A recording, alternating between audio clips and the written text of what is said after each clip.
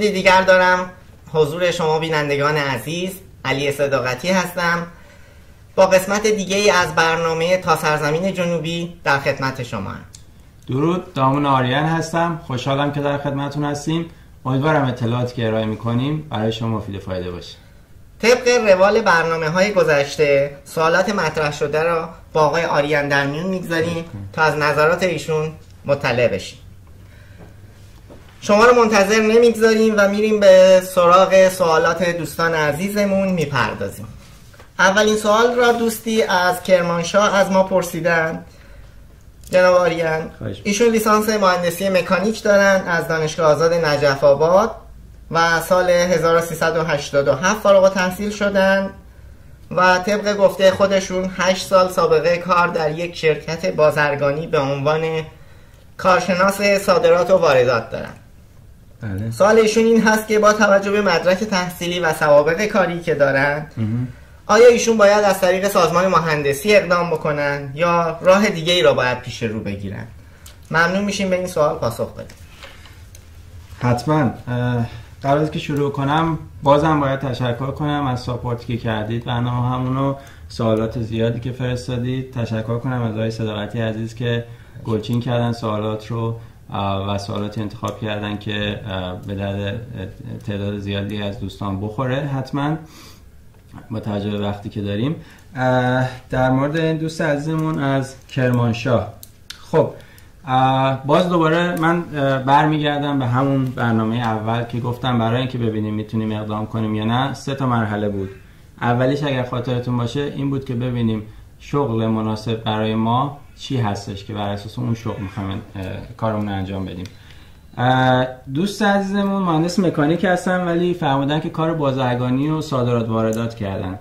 خب اولین چیزی که به ذهن آدم می‌رسه اینه که خب بحث کار صادرات و واردات توی لیست مشاغل به ذهن من حداقل برای ایشون رشته importer exporter importer exporter می‌رسه توی لیست مشاغل.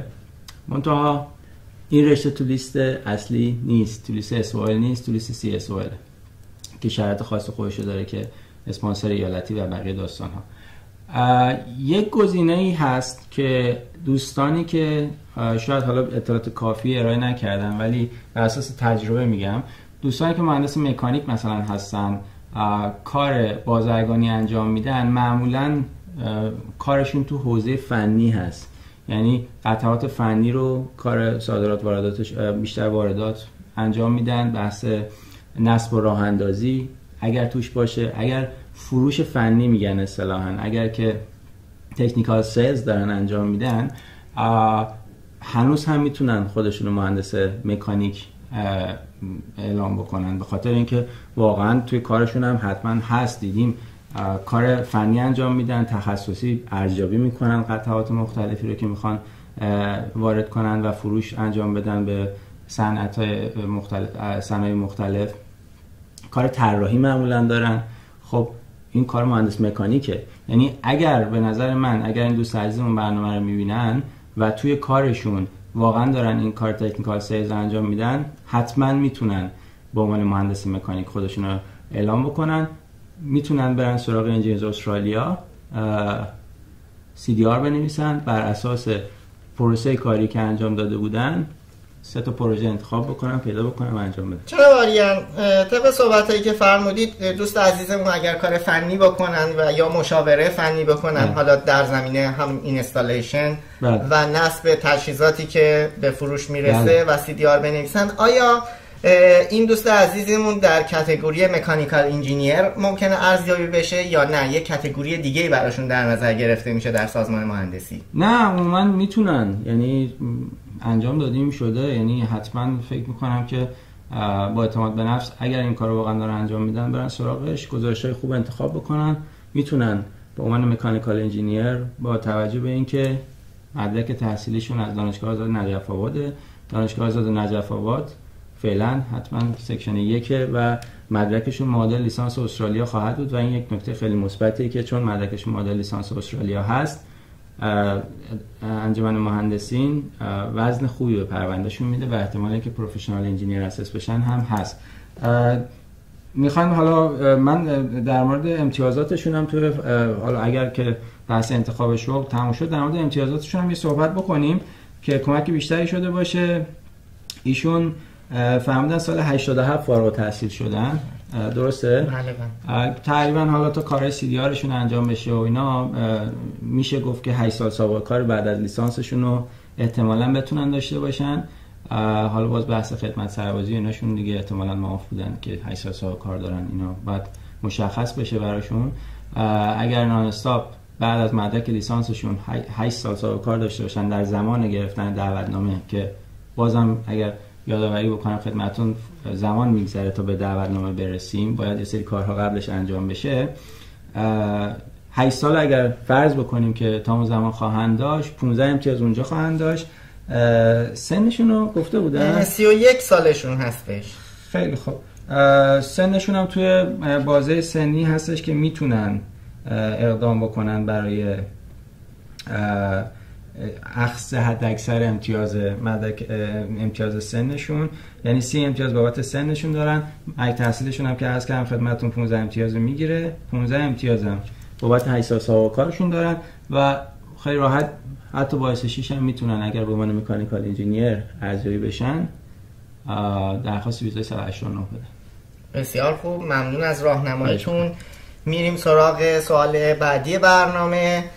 خانومی از تهران ایمیل فرستادن و سوالشون رو مطرح کردن. ایشون فوق لیسانس مشاوره دارن و لیسانسشون را هم از دانشگاه علامه گرفتن و روانشناسی خوندن.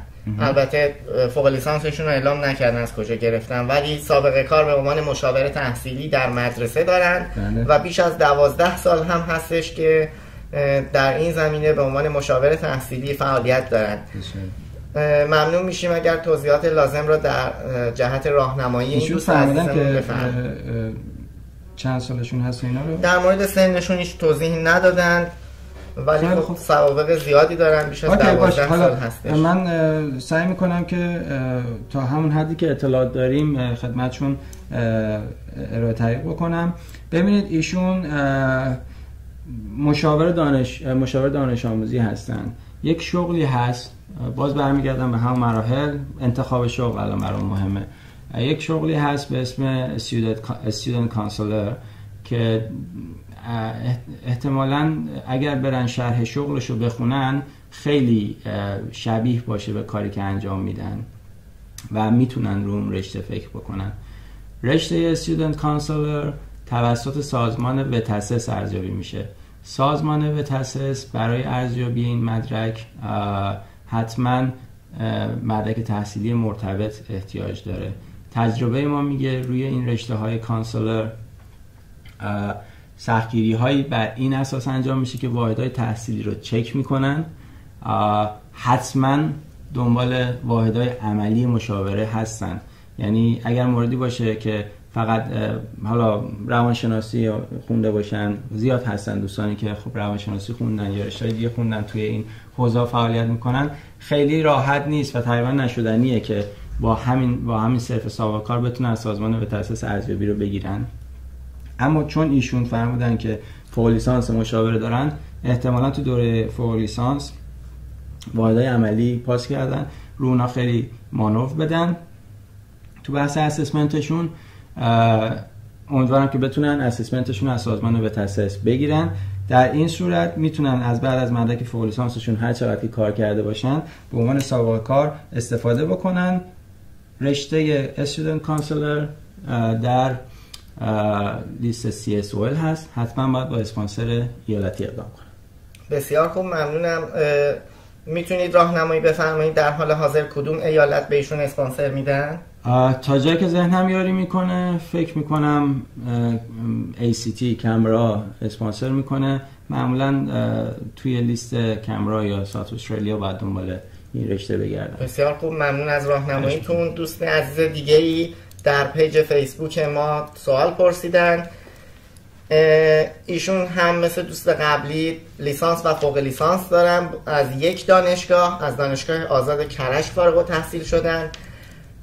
لیسانس ایشون لیسانس مترجمی زبان انگلیسی هستش و در سال 83 فارغ تحصیل شدن و ارشدشون را در زمینه آموزش زبان انگلیسی از همون دانشگاه آزاد منتها در سال 1390 اخذ کردن. بله. ایشون فرمودن 35 سال سنشون هست و 12 سال سابقه کار دارن در سطوح مختلف آموزش زبان. درسته؟ ممنون میشیم دوست عزیزمون رو راهنمایی بفرمایید. خواهش می‌کنم. بله. ایشون تو حوزه آموزش زبان کار کردن. من دو تا رشته رو می‌تونم براشون معرفی بکنم. یکی رشته تسول یکی هم وکیشنال ایژوکیشن تیچره بیشتر فکر می‌کنم رو تسول اگر بتونن کار کنن بهتر باشه.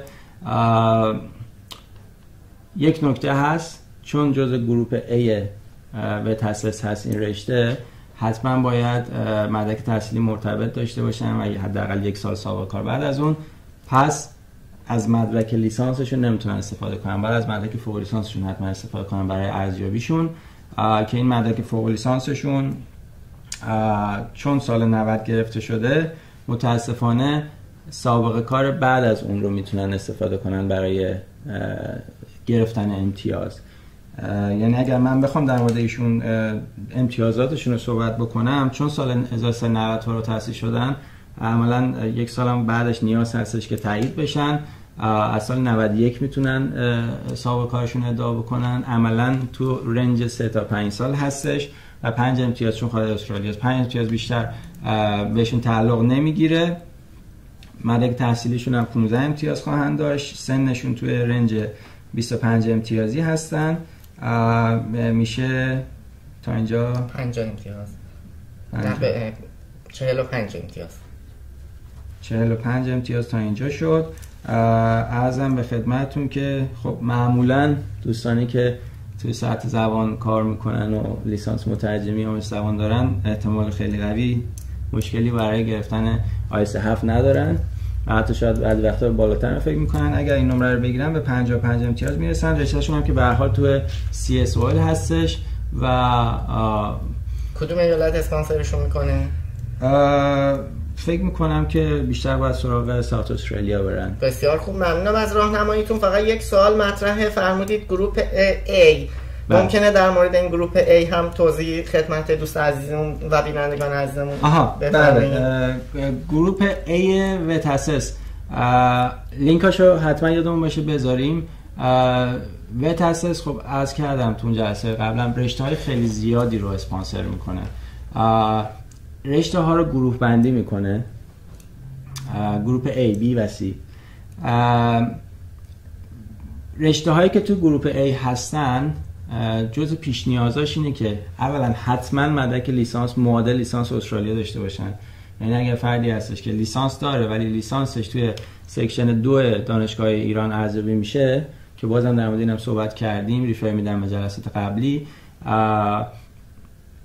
نمی‌تونه متاسفانه رشته ای که تو group A VETASSESS هست و براش اقدام کنه reject میشه. بهتره که این کار نکنه. و یک سال هم کار حتما باید بعدش داشته باشه. group B یه مقدار شرطش راحت تره اگر یک مدرک پایین تر از لیسانس مرتبط داشته باشه علاوه یک مدرک لیسانس غیر مرتبط باز هم می‌تونه مثلا با دو سال سابقه کار انجام بده. گروپ C باز شرطش راحت تره می‌تونن با مدرک غیر مرتبط هم انجام بدن. لیستش هستش حتما ببینید. اینو براتون می‌ذاریم. باز حتما اگر سوالی بود در مورد کیس خاص خودتون در خدمتتون هستم. بسیار ممنون از راهنماییتون و نتیجه مهمی که از صحبت آقای آریان به دست میاد. این هستش که خیلی از دوستان که مدرک تحصیلیشون با سابقه کارشون های ریلونت و مرد صد درصد مرتبط نیست هم این امکان براشون وجود داره که حتما. بتونن مهاجرت. مخصوصا تو گروه گروپ سی به تاسیس این امکان برقرار. بسیار خوب. میریم سرا- سراغ سوال بعدی. آقای در استرالیا گفتن که با یک ویزای 18 ماهه تشریف آوردن استرالیا. و یک سال هست که مشغول به کار هستن و چهار ماه هم چهار ماه دیگه هم فرمودن که ویزاشون باطل میشه آقای آریان. بله. و دوست دارن بدونن که چطور می‌تونن اقامتشون رو بیشتر کنن. خب این, این یه جورایی پازل شد. خیلی اطلاعات ندارم. باید حدس بزنم. چون گفتن ویزای 18 ماهه در داخل استرالیا هستن. تنها چیزی که به ذهن من می‌رسه یک ویزایی هستش با ساب کلاس 476 این یک ویزای ویزایی هستش که به دولت استرالیا به فارغ التحصیلان رشته های مهندسی دانشگاه های خاصی از سراسر دنیا اعطا می‌کنه. 18 ماه وارد استرالیا بشن کار زندگی کنن. اگر بتونن موندگار بشن. خب مشخصا دوست داره دولت استرالیا مثل هر دولت دیگه ای که دانش دانشجوهای فارغ التحصیل نخبه دانشگاه خوب بیان. و این ویزای جمعه رو بهشون میده. در ایران دانشگاه های پلیتکنیک امیر کبیر و دانشگاه تهران دانشگاه مادر دانشجوهای فارغ تحصیل رشته مهندسی می‌تونن اقدام کنن. حالا شاید خاص خوش داره بحث سنشون بحث اینکه چقدر از تحصیلشون گذشته باشه از اتمام تحصیلشون گذشته باشه. و از فارغ تحصیل می‌تونن به حال اقدام کنن برای ویزا. پس من فکر می‌کنم که ایشون یک مهندس هستن. دو با ویزا 476 در داخل استرالیا هستن.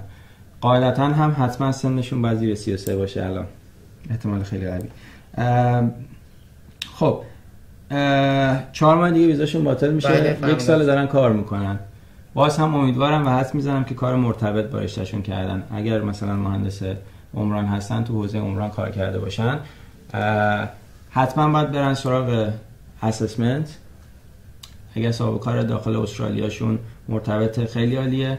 اگر هم نیست برای گرفتن اسسمنتشون اگر صاحب کاری تو ایران دارن در مورد اسسمنت انجینیرز استرالیا هم صحبت کرده بودیم. به هر حال باید سی بنویسن کار اسسمنتشون انجام بشه. ارزیابی مثبتشون تو رشته خودشون بگیرن. عموما رشته های اصلی مهندسی همه تو لیست اسوال خدا هست. ولی بعد یک مشکلی داریم بحث چهار ماه. چهار ماه بیشتر از اقامتشون نمونده. برای اینکه تو این فاصله چهار ماه بتونن به لاج پروندهشون برسن یک مقدار باید سخت کار کنن. سیدیار من پیشنهادم برایشون اینه که سیدیارشون رو سریع بنویسن خیلی سریع آمادش بکنن. امیدوارم که تا قبل از اومدن یه کاری کرده باشن. ولی اگر نه باید خیلی سریع وقت بذارن سیدیارشون رو تکمیل بکنن. مورد داشتیم که ما client همون CDR شون در حد در عرض سه چهار روزن تموم کردن. یعنی کاملا به تلاش خودشون بستگی داره. فکر نکنن که حتما سه چهار باید کار ببره. CDR شون تکمیل بکنن. خوشبختانه Engineers Australia چند وقتی هستش که یک سیستم fast track معرفی کرده. یک هزینه اضافه تری می‌گیره. در حد یک هفته دو هفته اگر مدارک تکمیل باشه ارزیابی مثبت اعلام می‌کنه. مگر نه باید سه چهار ماه طول بکشه. ارزیابی مثبتشون بگیرن. آیلتسشون امیدوارم آماده باشه. آماده نباشه. باید ببینیم چه امتیاز چه آیلتسی می‌خوان. حالا بذارید پس من یه کوچولو محاسبه کنم. حداقل 30 امتیاز بابت سن دارن. دانشگاهشون هم که حالا یا پلیتکنیک یا تهران مدرک تحصیلیشون 15 امتیاز رو داره حتما چون هر دو section یک هستن. یک سال هم سابقه کار در آها یک سال هم در استرالیا کار کردن. پس این می‌تونه بهشون کمک بکنه که 5 امتیاز بگیرن اگر مرتبط باشه. و می‌رسن به امتیاز 50 بله. اگر آیس 7 بگیرن می‌تونن از کنم خدمتون که به 60 امتیاز مورد نیاز برسن. اما تریس کنن اگر الان باشه با 60 امتیاز و تا گرفتن دعوتنامه از ای آی تا گرفتن دعوتنامه یک ماه و نیم اینطورا طول می‌کشه. ممکنه یه ذره بیشتر بشه بریم جلوتر. منتهای مراتب به حال یک ماه و نیم دو ماه هم. از زمان ثبت ای تا گرفتن دعوتنامهشون برای خودشون باید زمان قائل بشن. حتما دعوتنامه لاجشون باید قبل از اتمام ویزای جاریشون باشه. یعنی لاج پروندهشون یک روز قبل از اتمام ویزای جاریشون باشه اصطلاحا میرن رو بریجینگ ویزا و شرایط bridging visa هم این هستش که در حقیقت بین دو ویزاست یعنی الان ویزا 476 داشتن. اقدام کردن برای ویزا اقامت دائم تو این فاصله که منتظرن با bridging visa می‌تونن تو استرالیا باشن bridging visa A می‌گیرن. اگر بخوان از استرالیا خارج بشن bridging ویزای B که حالا بیشتر صحبت می‌کنیم اگر لازم شد در موردش. و Medicare هم اتفاقا بهشون تعلق می‌گیره. بسیار خوب. باید این کار رو سریع انجام جناب آریان سوالی که مطرح هستش خب شما یه timeline ی رو برای ایشون معرفی کردین. اگر تا قبل از اینکه این ویزاشون باطل بشه نتونن ویزای بعدی رو submit بکنن چه اتفاقی میفته؟ اگر نتونن چون ویزاشون تموم شده متاسفانه باید به حال استرالیا ترک کنن. چون ویزای 476 ویزایی نیستش که بشه خودش رو extend کرد. یعنی ویزای قابل extend ی بای دیفالت خودش نیستش و نمیشه اکستندش کرد. اما باید به یه طریق یه ویزای دیگه اقدام کنن. مثلا اگر الان دارن برای جایی کار می‌کنن و می‌دونن نمی‌تونن به ویزای اقامت دائم برسن برای اقدامش می‌تونن درخواست کنن که اون کسی که داره براشون کار می‌کنه ایشون اسپانسرشون بشه برای ویزای 457 اقدام کنن که در مورد ویزای 457 هم صحبت کنیم که. بسیار خوب ممنونم از توضیحات خوبتون. به انتهای یکی دیگر از برنامه های پرسش و پاسخ در مورد ویزای اسکیل رسیدیم. منتظر سوالات دیگه شما عزیزان هستیم. تا از طریق کانال های ارتباطی با ما مطرح بکنیم. ممنون از آقای آریان که ما را همراهی کردن در این برنامه و ممنون از شما دوستان عزیز که با سوالات خودتون ما را کمک می‌کنید تا آموزش بهتری داشته باشیم در پروسه مجموع برنامه های تا سرزمین جنوبی. به همراه آقای آریان از حضور شما مرخص میشیم. اگر صحبت نهایی دارید نه ممنون از های صداقتی. حتما سوال بپرسید. ممنون از ساپورتی که تا حالا داشتید. سوالاتتون مطرح بکنید. کمک می‌کنه که ما برنامه پربارتر باشه. هیچ فیلتری تو جواب دادن نیست. هر سوالی بپرسید سعی می‌کنیم که بهترین جواب ممکن رو خدمتون ارائه بکنیم. موفق باشید. خدا نگهدار. با آرزوی موفقیت برای همه دوستان. تا برنامه بعد روز خوش.